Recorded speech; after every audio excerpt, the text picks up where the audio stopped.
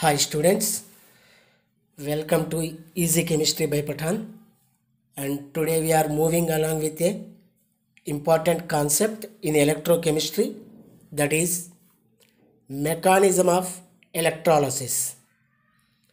Students know electrolysis from schooling but uh, they don't know completely. That's why today I am explaining mechanism of electrolysis means definition and how it will takes place and complete information I am going to give. This mechanism of electrolysis useful in Faraday's laws which are very important in electrochemistry. Faraday first law, Faraday's second law depending on this mechanism of electrolysis only. That's why everyone please concentrate on these basics of Faraday's laws that is mechanism of electrolysis. First you know that what is electrolysis. You learn in your schooling that is electrolysis means decomposition of electrolyte.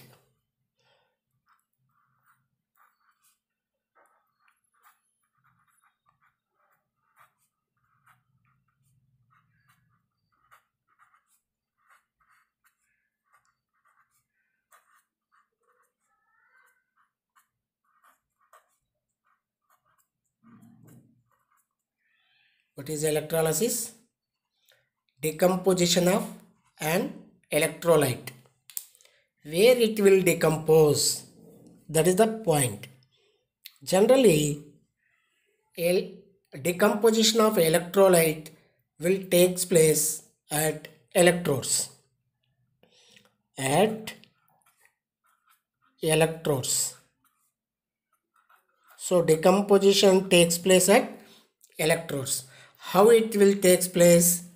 By passing by passing electrical current. Electrical current. So decomposition of an electrolyte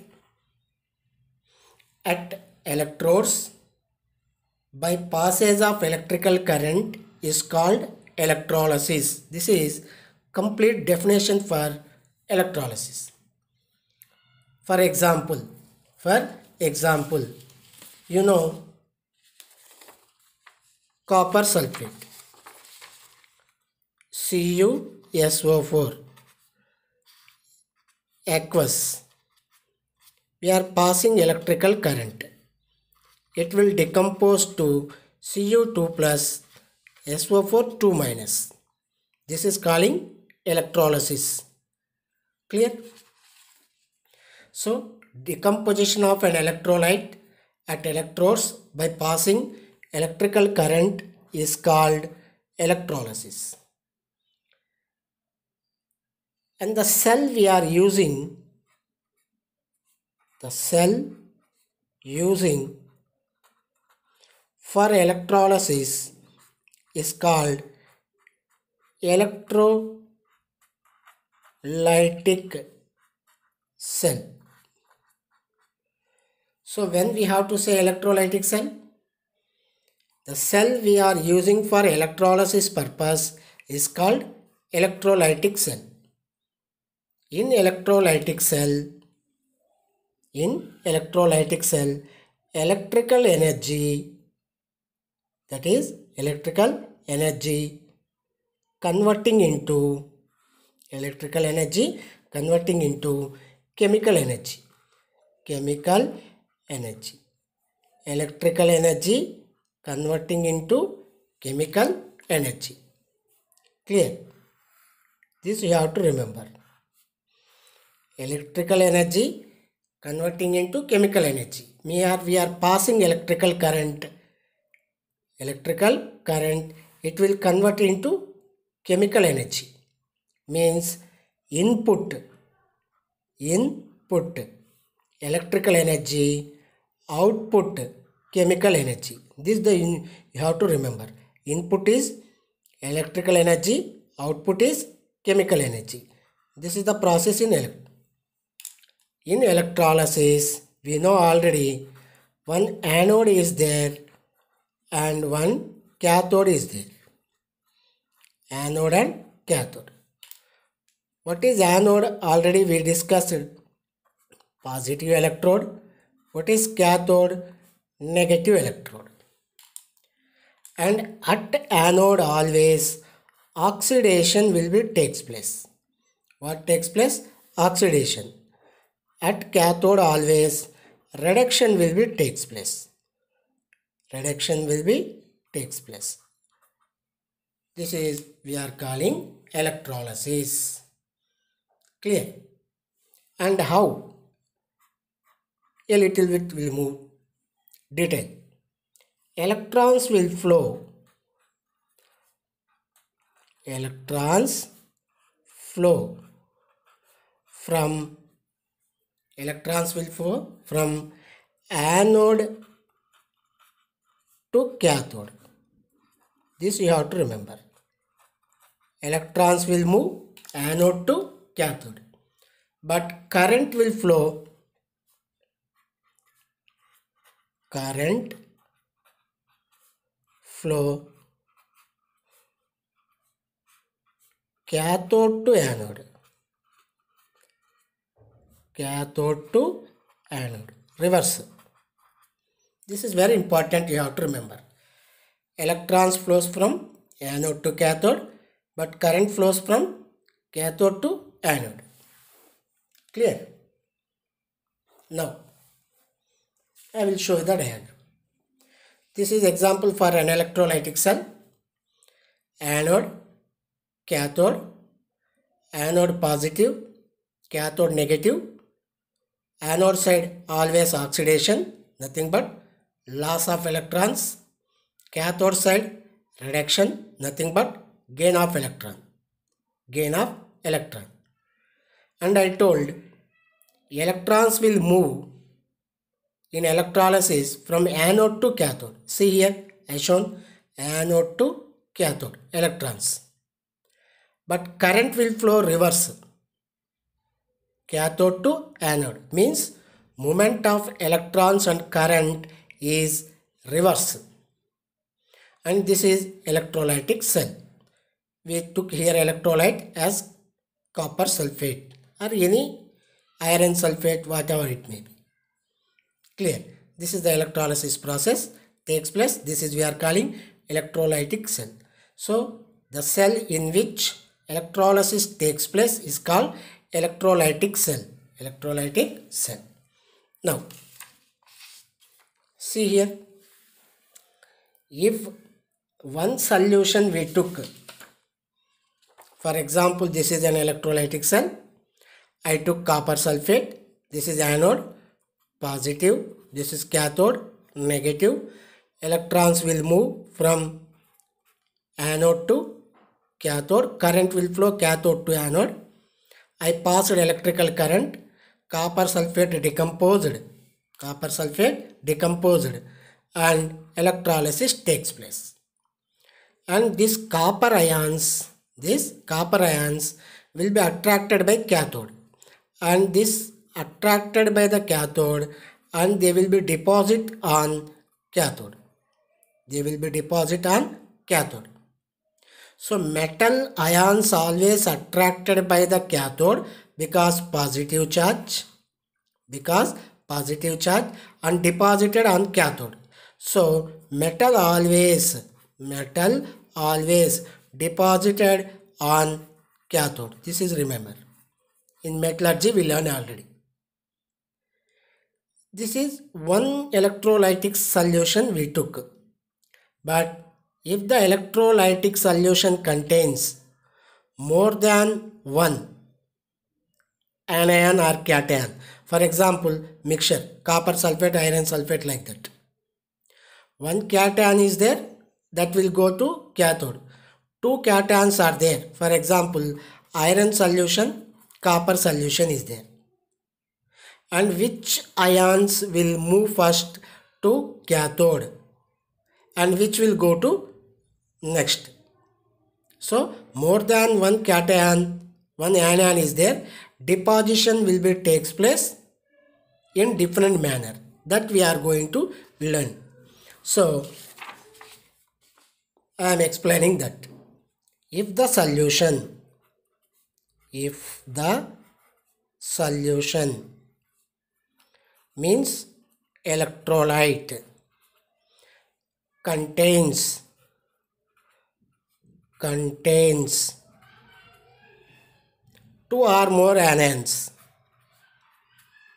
two or more cations or anions. Then what happened? Two or more cations or anions are present. Then which will be deposit first? This deposition takes place the main property of discharge potential. Discharge potential. Clear? Deposition depend on discharge potential. What is meant by discharge potential? Look here. When copper sulfate we took copper ions are attracted by the cathode and deposited on cathode so when copper sulfate decomposed we got copper ions means charged particles. These charged particles move towards cathode. This is positive this is negative. There it will gain two electrons. I told already at cathode reduction will be takes place. So it will gain two electrons and converted into metal ion. Means charged particle converted to neutral particle means charge is discharged. This discharge we are calling discharge discharge potential. Potential nothing but energy. So when ions attracted by the cathode there they will gain electron and converted into metal. Means they are losing their charge. This is we are calling discharge different metals having the potential in different way. That is we are calling discharge potential. This uh, discharge potential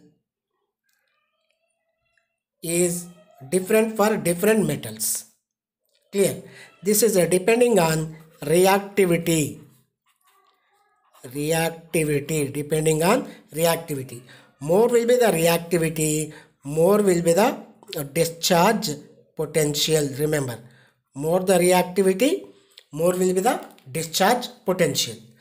Reactivity of metal ions we learned already. If anybody need i made a video on reactivity i will give link in description box. Go and watch. Clear? Now i am giving discharge potential of cations. Cations. Discharge potential of cations lithium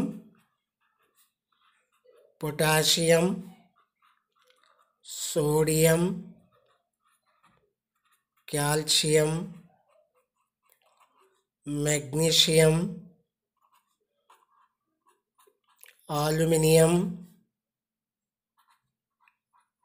manganese zinc manganese zinc next chromium next iron next hydrogen next copper mercury silver platinum silver platinum like this. This is the cation discharge potential. Clear? As discharge potential more deposition less. So deposition order. Deposition order.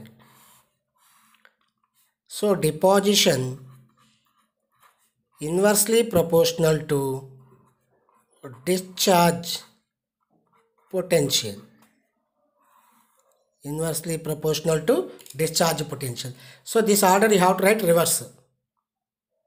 You have to write reverse. That is gold. Here I have gold also. AU3 plus.